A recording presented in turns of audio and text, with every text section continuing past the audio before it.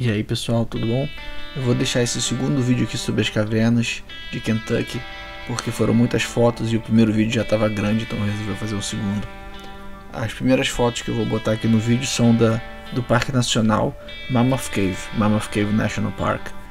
É o maior parque de cavernas natural do mundo.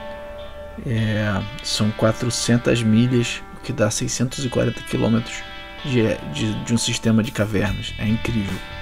A gente visitou uma das cavernas e o parque tem diversas outras cavernas e outras entradas, né? Alguns precisam marcar porque tem que ir de ônibus. É fantástico, é incrível, é incrível. Essa caverna que a gente usou, por exemplo, ela é usada na, na mineração e as fotos estão aí, são, é muito legal. Não é muito bom de fotografar dentro da caverna porque obviamente é escuro e nem todos os locais têm iluminação ou podem usar flash. Mas a gente fez o que a gente pôde.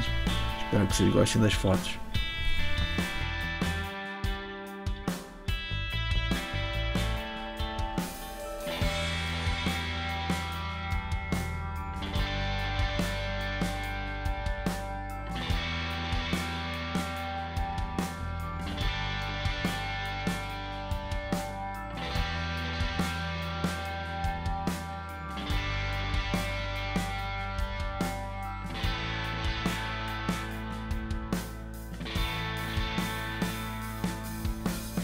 Essa próxima série de fotos agora é da Diamond Caverns.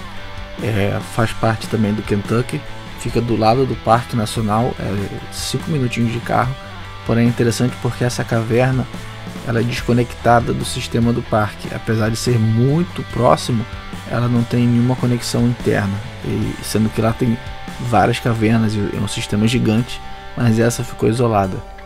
É, o interessante dessa caverna é que apesar do nome ela não tem diamante é, quando eles fizeram as escavações das primeiras entradas e fizeram o primeiro túnel e desceram para dentro da caverna, eles descobriram calcite, é, minerais de é, calcita, né?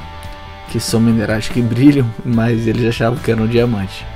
Tem bastante história nessa caverna, teve até tentativa de abrir uma segunda porta, tentativa de sabotagem por outras cavernas da região, porque as cavernas lá acabavam fazendo competição entre si, né? tanto na questão de exploração quanto no turismo. Então tem bastante histórias assim de sabotagem, uma que tentou sabotar a outra. E uma história interessante é que tentaram abrir uma segunda porta para essa caverna, mas o projeto foi é, abortado.